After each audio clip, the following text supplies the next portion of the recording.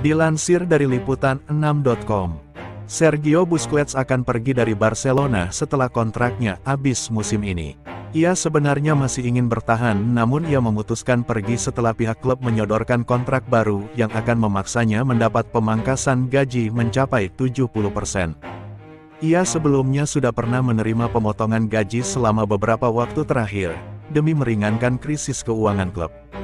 Kabar kepergiannya telah dikonfirmasi sendiri oleh sang pemain melalui unggahan di media sosialnya. Bagaimana menurutmu? Berikan pendapatmu di kolom komentar. Dilansir dari liputan 6.com, Sergio Busquets akan pergi dari Barcelona setelah kontraknya habis musim ini. Ia sebenarnya masih ingin bertahan namun ia memutuskan pergi setelah pihak klub menyodorkan kontrak baru yang akan memaksanya mendapat pemangkasan gaji mencapai 70%. Ia sebelumnya sudah pernah menerima pemotongan gaji selama beberapa waktu terakhir, demi meringankan krisis keuangan klub. Kabar kepergiannya telah dikonfirmasi sendiri oleh sang pemain melalui unggahan di media sosialnya. Bagaimana menurutmu? Berikan pendapatmu di kolom komentar.